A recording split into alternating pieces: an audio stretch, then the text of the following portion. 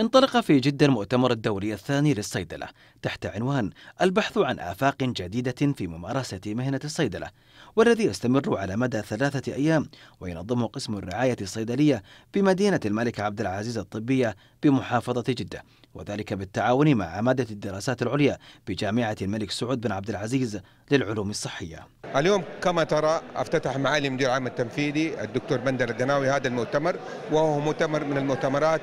ذات المردود الإيجابي القوي للمجتمع إضافة يتعلق بالصيدلة وهي الآفاق الجديدة في مهنة الصيدلة. ولا شك إنه توعية المجتمع بما معنى تحوي كلمة مهنة الصيدلة لها هذا المردود الإيجابي والذي إن شاء الله يتكلل النتائج والتوصيات التي تنبثق من هذا الاجتماع أو من هذا المؤتمر وهو مؤتمر دولي كما ذكر أثناء الافتتاح وجود نخبة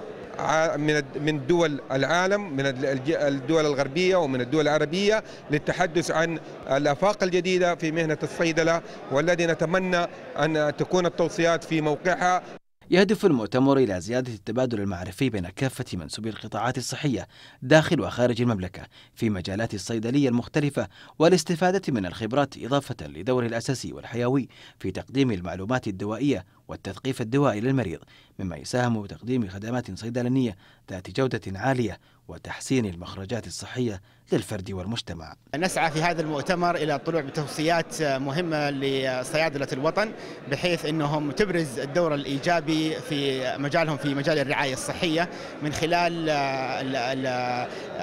أخذ الأدوية بطريقة آمنة وسليمة ويهدف إلى إخراج وإيجاد مخرجات صحية ذات جودة عالية للمريض. هذا المؤتمر هو أحد أهم مجالات التعاون والتبادل المعرفي والعلمي في كافة القطاعات الصحية ويعتبر أحد مشاركات خدمات الرعاية الصيدلانية في تطوير ممارسة مهنة الصيدلة بغرض رفع مستوى الرعاية الصحية. فهذا السمحان الإخبارية جدة.